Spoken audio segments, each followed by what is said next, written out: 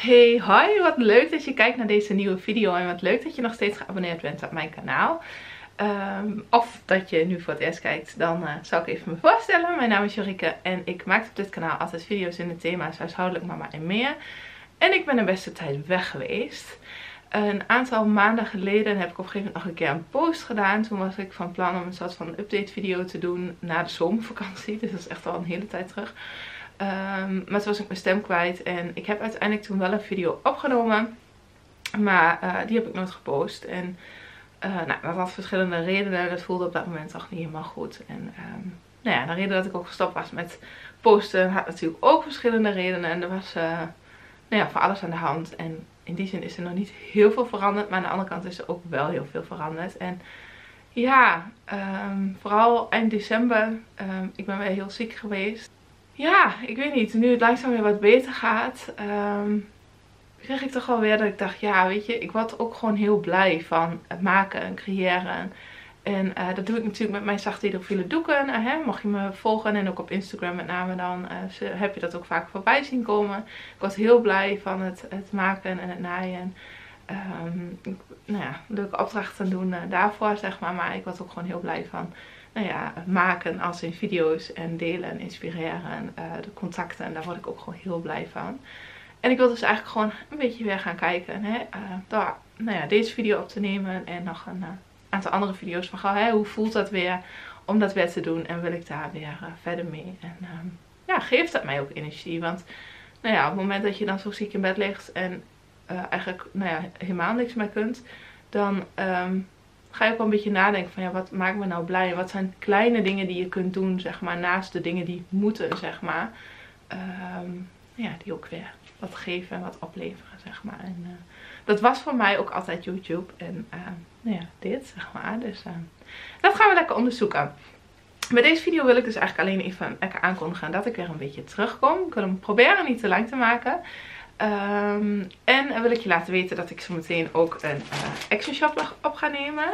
Um, ik heb namelijk allemaal uh, dingetjes geshopt. En dat was ook eigenlijk wel de definitieve dat ik voelde, ja, die kriebel van leuk. Ik ga weer wat opnemen. Want ik ben natuurlijk in het afgelopen drie kwart jaar ook wel bij Action geweest.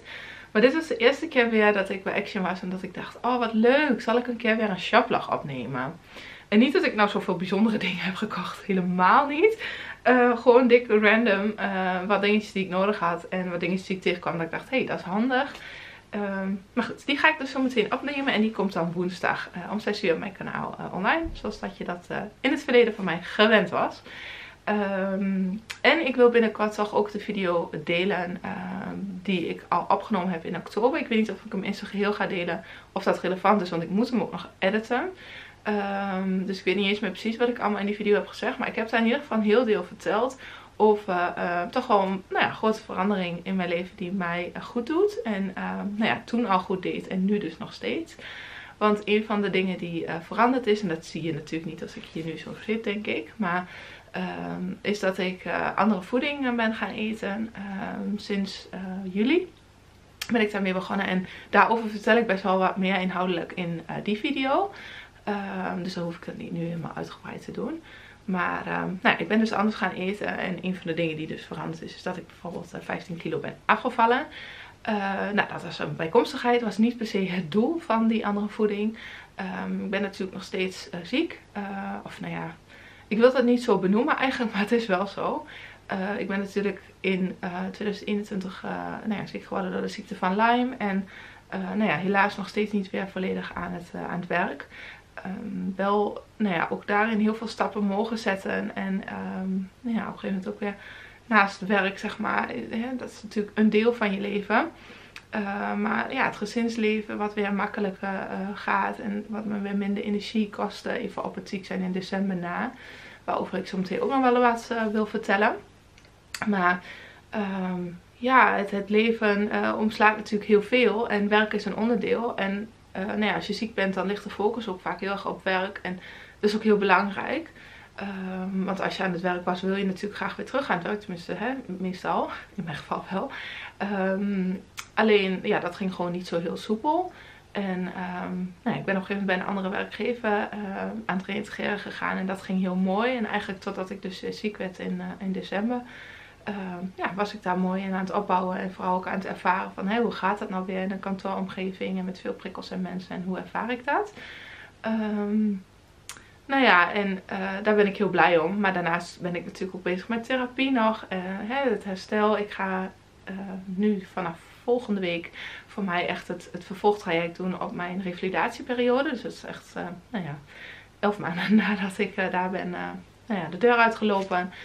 Mag ik nu echt verder met het vervolg daarop in de vorm van psychomotorische therapie. En daar ben ik heel blij mee. Eh, ik heb al kennis gemaakt met de therapeut en ja, dat zie ik wel zitten. Dus ik hoop dat ik daar ook weer mooie stappen mag zetten. Maar in de tussentijd is er natuurlijk ook wel het een en ander gebeurd. Onder andere bijvoorbeeld ook met fysiotherapie. En ben ik weer begonnen met spatten. Um, niks heel groot of fanatieks, of maar gewoon low-key en verder gewoon lekker alleen wandelen. Maar nou ja, gewoon hier thuis, letterlijk hier achter mij, rol ik een aantal keer per week normaal. Even last van het ziek zijn van december. Um, ja, weer het matje uit. En uh, spat ik samen met mijn zussen en een uh, vriendin van uh, mijn zussen via, de via, ja, via Skype. Echt super leuk. Maar nou ja, gewoon met wat gewichten en wat oefeningen thuis. En dat ja, geeft echt een goed gevoel. En met name in combinatie met dus wat ik van de fysio heb gekregen. Had ik echt ook daarin het gevoel dat ik aan het opbouwen was. nou ja, had, vertel ik nu. het gaat nu eigenlijk sinds deze week net weer een klein beetje beter met mij. Als in dat ik weer wat terugkom richting het energielevel waar ik zat zeg maar in december. Uh, voordat ik uh, nou ja, ineens uit niks heel erg kort kreeg. Het is een heel lang verhaal, daar ga ik je niet helemaal mee vermoeien. Misschien dat ik er nog wel eens een keer een gedetailleerde video over opneem, maar dat weet ik niet. Ik weet ook niet of mensen het interessant vinden, maar Um, ik had al een paar weken last. Ik heb natuurlijk wel vaker gedeeld over wat gynaecologische klachten waar ik last van heb. Ik heb ooit een, een kieste gehad aan mijn uh, eierstok waar ik aan geopereerd ben. Dat was zeven jaar geleden inmiddels. Nee, zes jaar geleden. Ja, want Max was één, dus zes jaar geleden. Um, en ik heb, uh, nou ja, die niche natuurlijk, daar heb ik ook wel eens wat over verteld. In ieder geval, het rommelde een beetje. En ik dacht, hmm, wat gebeurt er? Uh, maar niks nog om me zorgen over te maken. Um, maar de week voor kerst, zeg maar, toen was Michael voor zijn werk in het buitenland. En toen was ik dus alleen met de kinderen. En toen begon ik wat meer last op te krijgen van mijn, van mijn onderrug. En ik dacht eerst nog dat het misschien mijn bekken was. Dus ik heb de spat ook nog een keer afgezegd. Ik ja, het voelt niet fijn. Het gaat niet helemaal lekker. Maar uh, nou ja, verder ging het wel. Gewoon af en toe wat pijn. Maar nou ja. En, en wat drukkend gevoel. En op een gegeven moment dacht ik, hmm, misschien dat ik weer een kieste krijg. Dat maar nee, nog niks heel spannends. En toen kreeg ik kerstavond ineens koorts. En werd ik uh, nou ja, van een beetje ziek, alsmaar zieke, uh, nou ja. En um, echt vlak voor 12 uur met oud en nieuw, toen dacht ik, oh, nou, nu uh, heb ik het gevoel, want ik had heel erg last van hele hoge hartslag en dus al een week koorts. Um, toen dacht ik, hé, hey, nu gaat die hartslag misschien ietsjes dalen, want ik zat zo mocht je er verstand van hebben, eh, in, in rust. Dus als ik lag op de bank en niks deed, zo tussen de 95 en 110 qua hartslag. Nou, dat is voor mij vergelijkbaar met dat ik normaal een trap oploop of dat ik flink aan het fietsen ben, zeg maar. En dat in rust. Dus dat is niet heel erg fijn, kan ik je vertellen. En helemaal niet als je dat dagenlang hebt. En uh, nou, toen begon het dus iets te zakken. Hartstikke mooi. Dacht ik, oh yes, dit gaat goed. En um, nou ja, nieuwjaarsdag in de loop van de dag werd het steeds beroerder. En uh, toen die nacht, toen was het echt helemaal weer. En toen was die hartslag weer helemaal omhoog. En de koorts kwam weer terug. En nou, toen ben ik voor controle geweest 2 januari. En uiteindelijk ben ik toen opgenomen geweest uh, voor twee dagen. In het ziekenhuis. Om aan het infuus andere antibiotica te krijgen. En daar aan te sterken op die manier. En um, nou ja, uiteindelijk donderdag ehm, ja, dinsdagochtend was ik en donderdag tegen het einde van de middag mocht ik weer naar huis. Toen heb ik twee nieuwe antibiotica weer gekregen.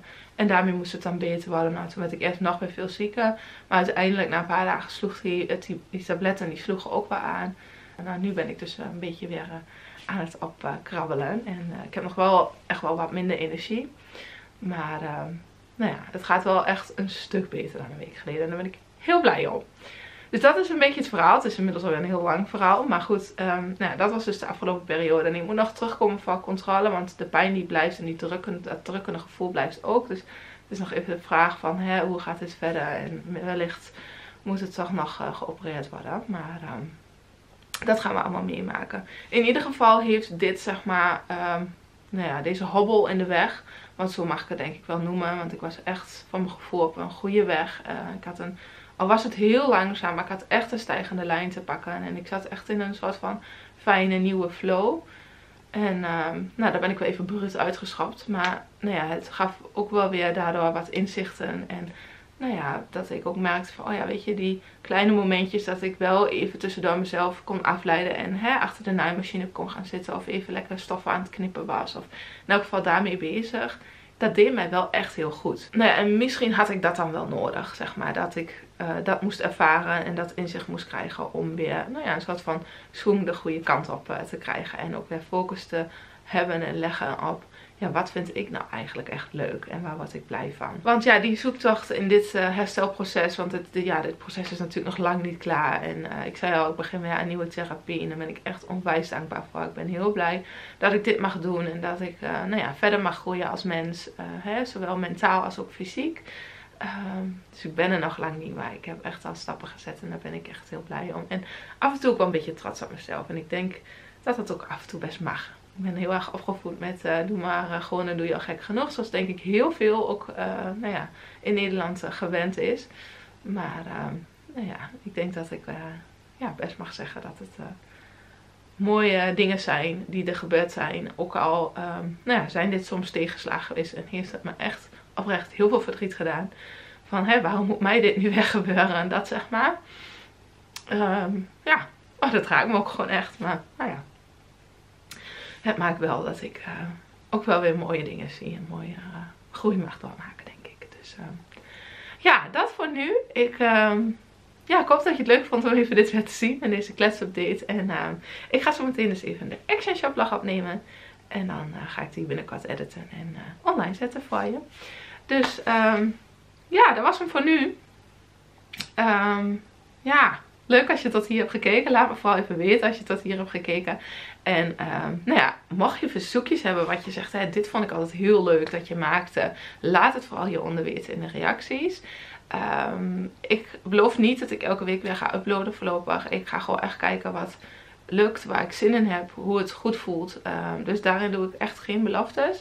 Maar ja, ik ga gewoon ervaren hoe het gaat. En uh, nou ja, ik doe graag inspiratie op uit jouw wensen en ideeën. Dus uh, drop ze vooral hieronder in de reacties.